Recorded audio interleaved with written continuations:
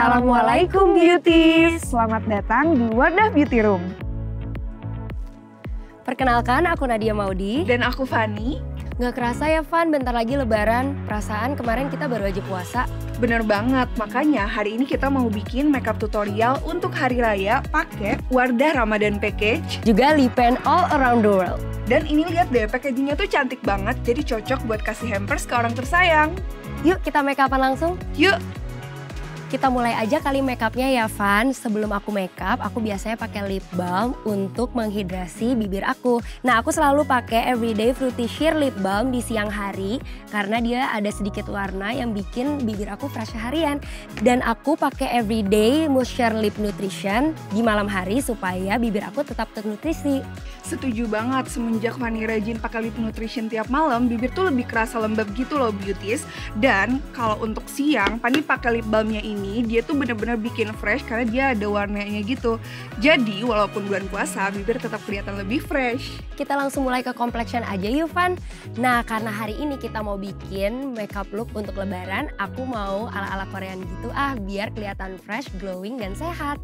Nah, karena kamu bikin Korean look, aku mau bikin western look aja biar lebarannya berasa keliling dunia. Dan ini mau pakai Color Fit Matte Foundation, ini yang shade 43W. Dia tuh ada skin match teknologi yang bikin warnanya tuh fit banget di kulit kita. Terus juga oil controlnya bagus banget. Dan ini juga finishnya matte terus long lasting.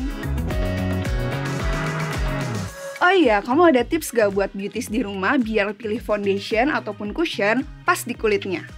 Ada dong, aku udah gak pernah salah-salah lagi pilih shades semenjak aku tahu ada Shades Finder di websitenya Warna Beauty. Caranya gampang banget, Van. Kamu tinggal buka websitenya Warna Beauty, terus kamu cari Shades Finder. Abis itu kamu langsung coba try virtual on kayak gini. Kamu langsung masukin foto kamu, abis itu langsung ada pilihan shades yang pas buat kamu. Gampang banget kan? Wah, keren banget ya beauties. Jadi kita nggak perlu takut lagi buat salah pilih shades karena udah ada Shades Finder. Bener banget, Van. Nah, complexion kita udah selesai nih, Van. Sekarang move ke bagian favorit aku, yaitu pakai blush. Nah, ini warna yang paling aku suka, yaitu 02 Merry Mauve.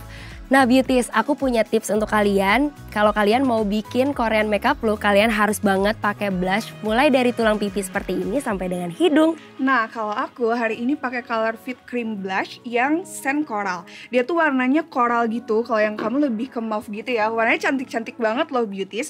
Dan Fanny mau aplikasiin di bagian tulang pipi di sini biar bikin kelihatan tirus. Nah, Van, karena ini makeup untuk lebaran, pasti mau dong tahan lama seharian. Makanya sekarang kita set complexion kita dengan powder. Nah, hari ini aku mau pakai two cake-nya Wardah yang 02 Light Beige. Aku tuh suka banget sama powder ini.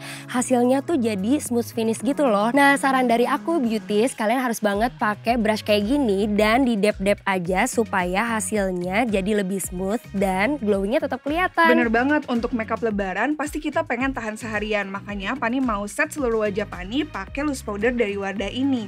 Dia oil controlnya oke banget loh dan bikin makeup jadi lebih smooth. Wow, jadi flawless banget, Van.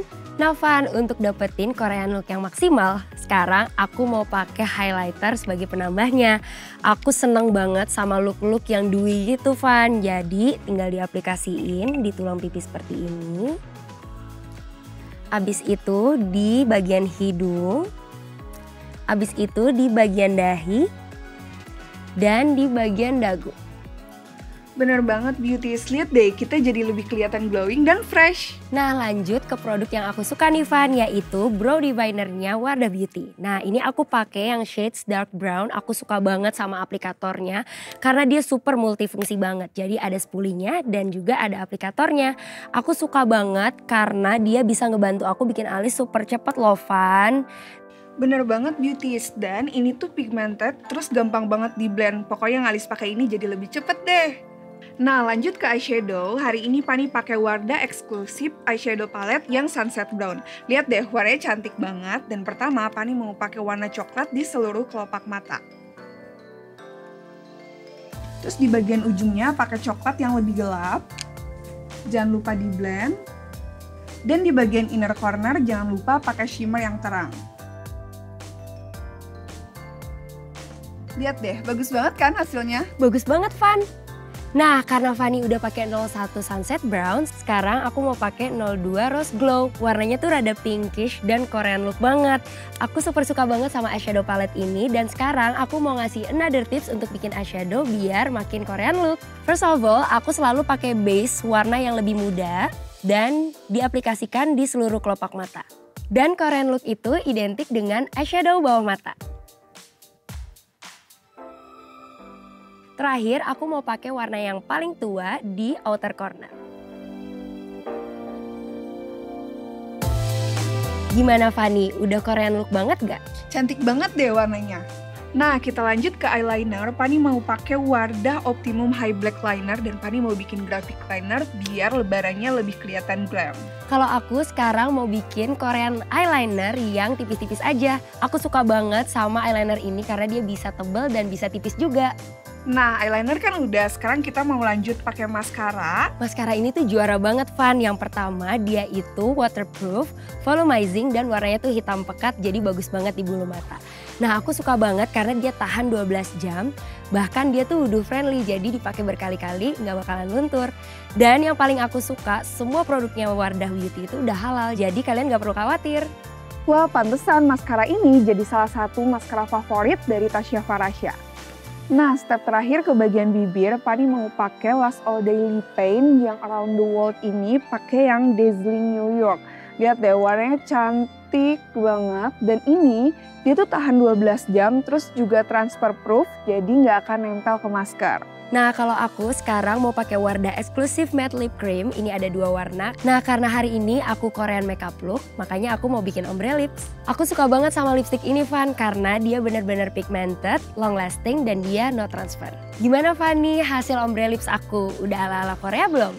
Dan gimana makeupnya? Cantik banget kan? Cocok banget buat lebaran nanti. Gimana nih Brave Beauty sekalian prefer yang mana? Korean look atau western look? Kalian komen di bawah sini ya. Dan jangan lupa recreate makeup look kita ya. Terima kasih udah nonton video kita. Selamat lebaran dan sampai jumpa.